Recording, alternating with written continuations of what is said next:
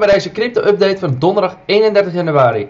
Allereerst, hartstikke bedankt weer in jouw interesse in het crypto-huis. Vandaag ga ik met jullie de Bitcoin-chart en de Ethereum-chart behandelen.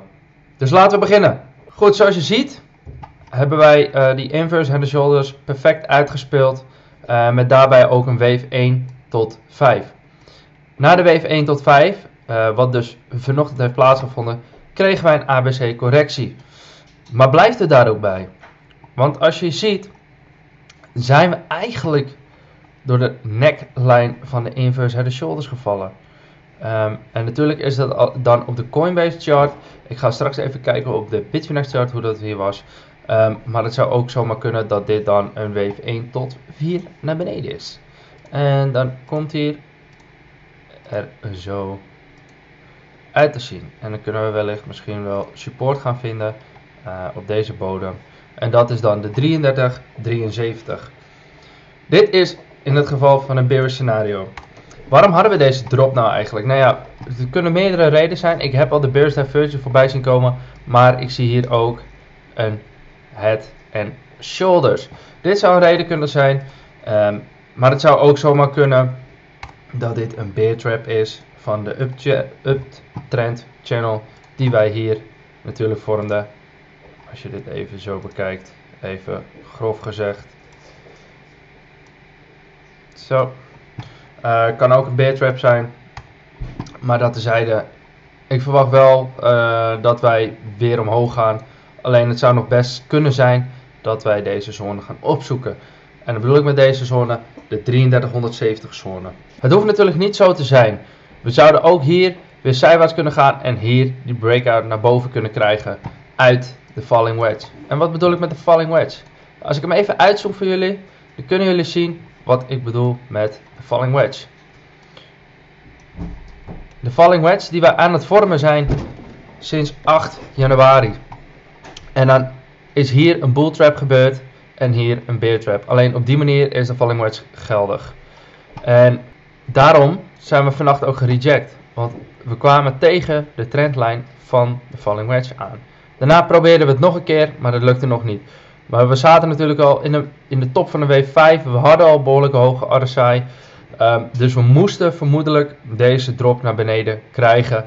Om eigenlijk weer kracht en volume te creëren. Om door die trendlijn heen te beuken. En dan wil ik even de Bitfinex chart met jullie erbij pakken. Want daar ziet hij er nog strakker en mooier uit. Want dan zie je dat we hier eigenlijk resistance areas hebben gepakt. Nou, hier echt op 1 dollar na verschil. Uh, hier weer ook die fake out. En hier nog meer. Ook zie je hier dat dus hier ruimte is voor een drop naar beneden. Maar vaak bij falling wedge zie je dat we zo'n half kommetje hebben.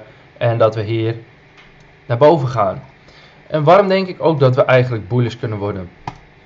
Natuurlijk als we dan uh, even deze erbij pakken. Uh, ik, ik, zet deze even uit om het overzicht te bewaren. En ik pak even de Ichimoku Cloud erbij. Dan kan je zien dat wij uh, nu boven deze rode zone zitten. Uh, dus daar support hebben gevonden op de 1 hour. En dan gaan we naar de 4 hour. Nou ja, dan zie je dat we wel bij een hele belangrijke zone, bij de 3510, dat wij daar enige rejection kunnen gaan verwachten. Echter, al kijken we naar de daily, en dat is een heel interessant gegeven, is, we hadden natuurlijk maandenlang die hele dikke Ichimoku Cloud, maar daar komt die. Je ziet dat wij hier de hele tijd al die dikke Ichimoku Cloud aan het vormen waren. En nu, oh, oh, oh, oh, oh, oh, paniek, paniek. En nu zie je dat we bij 7 februari een dunne ingang beginnen te krijgen. En ik bedoel met een ingang omdat we daar dan minder kans hebben om gereject te gaan worden. Dus mochten wij dus vanaf nu hier omhoog gaan, hè, dan kunnen we zomaar hier een nieuwe high gaan maken. Omdat we hier de ruimte hebben om er doorheen te komen. En dat we geen rejection gaan krijgen. Dus dit is een heel interessant gegeven op de daily. Die Ichimoku Cloud wordt minder. Het ziet er groen uit. Dus gaan wij ook echt verdere moves maken en gaan we eindelijk voor die nieuwe high. En dan denk ik aan de 4600 zone. Onze entree was vanaf de 3370. Misschien komen we daar vandaag nog even terug. Uh, ga ik ook kijken of we daar weer eventueel de call kunnen herkallen. Om jullie alsnog ook bij die entreezone in te laten stappen. Want dat betekent dat we natuurlijk hele mooie weken tegemoet gaan met vele procenten. En natuurlijk niet, voor, niet alleen voor Bitcoin, maar ook voor de altcoins. Goed, dan wil ik nu Ethereum met jullie behandelen. En dan gaan we natuurlijk ook even naar de 30 minute chart. En dan zie je dat we support hebben gevonden op de onderkant van Ichimoku Cloud. Het is wel grappig om te zien, ik, uh, per ongeluk. En dat we natuurlijk support hebben gevonden op deze resistance area. En hier deze resistance area. En als we hem ietsje naar beneden trekken, waar we echt de bounce hebben gehad, nou ja, dan zie je dat we heel dichtbij deze supportzone komen. Dus wanneer Bitcoin natuurlijk ook de weg verder omhoog zal vervolgen, dan verwacht ik ook natuurlijk dat Ethereum dit doet. Ethereum heeft dan ook kans op vele procenten omhoog, wanneer wij dus ook echt voor Bitcoin weer een nieuwe high gaan maken. Waar we heen gaan, hier ga ik morgen dieper op in. Wanneer de markt mij ook wat meer inzicht geeft, uh, waar we heen gaan, wat we gaan doen. En maak ik morgen even een langere video, zodat je deze in het weekend even kan bestuderen. Dit zal, een wat, uh, dit zal meer een video zijn voor long-term perspectief. En dan denk ik aan een call voor twee weken ongeveer. Dan wil ik het hierbij laten.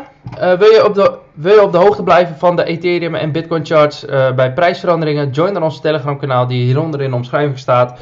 daar deel ik altijd de charts en de mogelijkheden waar we heen zouden kunnen gaan wanneer er weer een prijsverandering heeft plaatsgevonden. Goed, mocht je deze video weer leuk en interessant vinden, vergeet er vooral niet duimpje omhoog te geven.